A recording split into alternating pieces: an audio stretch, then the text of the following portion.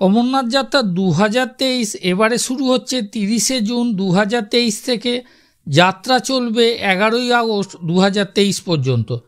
এবারে যাত্রার রেজিস্ট্রেশন আপনাকে করে নিতে হবে এগারোই এপ্রিল দু হাজার তেইশ থেকে তিরিশে এপ্রিল দু হাজার মধ্যে।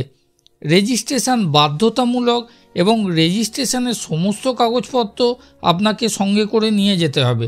আপনি অনলাইন অথবা অফলাইন দুভাবে যাত্রা রেজিস্ট্রেশন করতে পারবেন।